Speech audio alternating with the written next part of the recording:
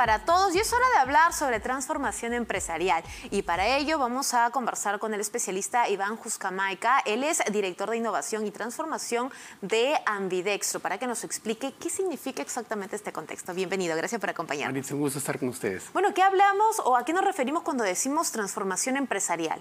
Mira, Maritza, eh, el contexto actual empresarial ha cambiado tanto, por supuesto fomentado por las nuevas tecnologías digitales y todo eso, pero además porque necesitamos reinventar los negocios desde su corazón, ¿no? entendiendo que el cliente cambió, el cliente es multigeneracional, está más informado, la competencia a veces es más digital, competimos en una arena ahora donde el que vende no necesariamente lo mismo que yo puede ganar donde yo gano. Entonces las compañías necesitan transformarse y evolucionar no solo desde aspectos tecnológicos o digitales, sino también estratégicos, culturales, organizacionales y por supuesto aplicando métodos y metodologías diferentes. Y, de todas estas aristas que, bueno, que precisan o que exigen un cambio en las empresas, ¿cuál es la más complicada?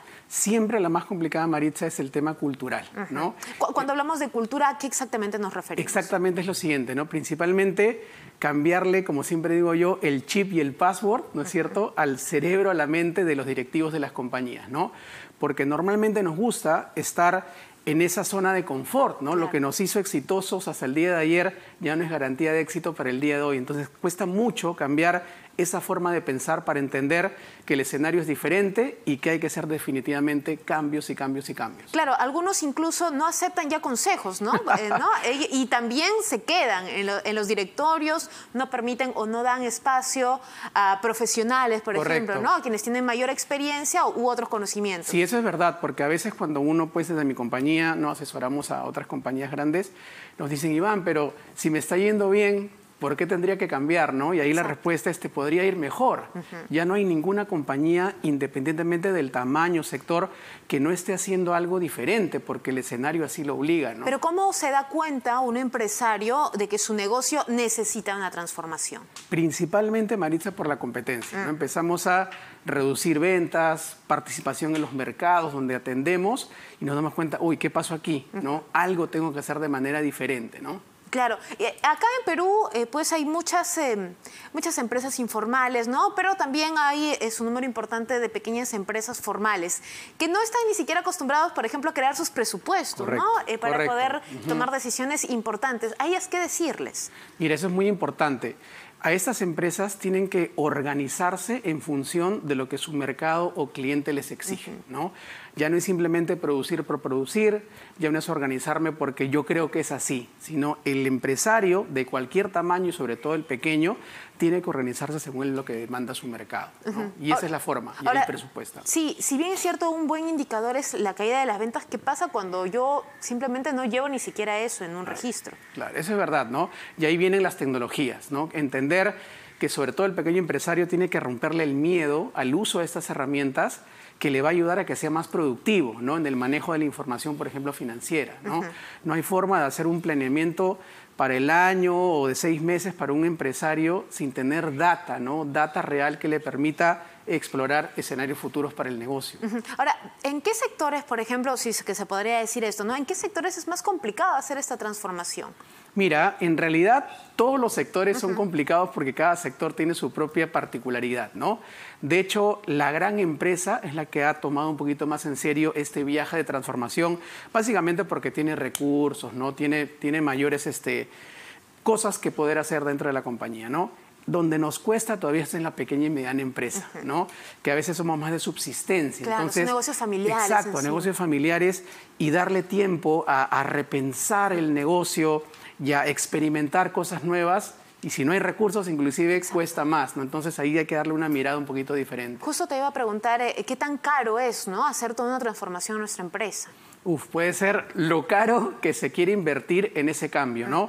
Pero al final esa inversión tiene que definitivamente traernos un, retorno. O sea, no hay forma de eh, embaucarnos en un viaje hacia la transformación empresarial sin tener indicadores para ir midiendo cómo va impactando esos cambios, tanto en el cambio de mentalidad y en el campo de ejecutar. Y eso es súper importante, porque a veces se cree que la transformación, al ser un tema cultural muy duro, ¿cómo mido eso, no? Pero claro, cambiamos forma de pensar para cambiar comportamientos y hacer cosas de manera diferente. Y en el hacer, ahí están los indicadores de negocio. Ahora, ¿cómo comienzo? ¿Cómo, cómo, comienzo exactamente? Principalmente, el punto de partida es entender el entorno donde se mueve el negocio, ¿no? ¿Qué fuerzas impactan para que mi negocio se quede igual, evoluciona a qué velocidad o si lo tengo que hacer de manera disruptiva? ese, ese, esa mirada tenemos que hacerla, número uno. Número dos, estrategia definir o redefinir las estrategias de negocio en cuanto a ese nuevo contexto. Y de ahí organizarnos de la mejor manera posible ante lo que nos pide el mercado. Y empezar a experimentar, probar, probar cosas nuevas. Claro, ahora entiendo que es complicado en una empresa que ya se ha establecido, ¿no? Pero ¿qué pasa con los nuevos negocios que tienen más o menos en promedio, ¿no? Una duración de entre uno a dos años y luego se desaparecen. Mira, en, en la experiencia, un emprendimiento en estos escenarios de transformación podría tener más éxito que una empresa ya establecida, porque la empresa establecida tiene muchos paradigmas.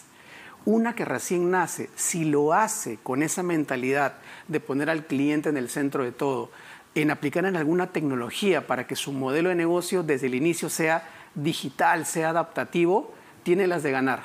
Y eso es lo que sí tenemos que inculcar en el emprendedor peruano, no entender de que puede tener algo chiquito pero con una mirada muy estratégica y disruptiva puede escalarlo ¿no? de, manera, de manera adecuada, ¿no? y, eso, y eso sería interesante. Ahora, ¿cómo yo como empresario puedo proyectar que con esa transformación sí realmente va a haber una mejora en mis ventas? ¿De quién depende o quién me lo va a decir? A ver, depende siempre de que tu producto o servicio encaje con las necesidades del mercado. ¿no? Al final, el mejor producto o servicio es el que atiende una necesidad, y si hay necesidades que no han sido bien atendidas por la oferta tradicional, ahí hay mucha oportunidad para ganar. Y esa es la mirada que tenemos que darle al empresario peruano, ¿no? al emprendedor peruano.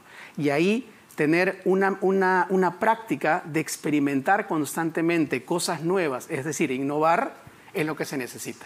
Full innovación. Ahora, eh, ¿qué, enfoques, no, métodos, no, marcos de trabajo se deberían eh, pues, eh, recomendar para, para, implementar una transformación efectiva? Bueno, los principales, Maritza, son los que están dentro del contexto de experimentar. ¿no?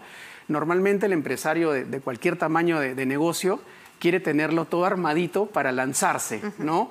Y eso puede ser caro y puede ser doloroso cuando después de tenerlo todo listo el mercado no acepta lo que tenemos. Dentro de transformación tenemos que experimentar mucho, ¿no? Prototipar cosas chiquitas, testearlas rápido y barato para aprender si vale la pena darle escalamiento o renunciar. Y ahí detrás hay un montón de métodos de design, de lean, de agile, que es toda esta nueva corriente para poder transformar. Pero el método va atrás. Primero es la estrategia y el enfoque de negocio. Perfecto, Iván, te agradecemos mucho por esta entrevista.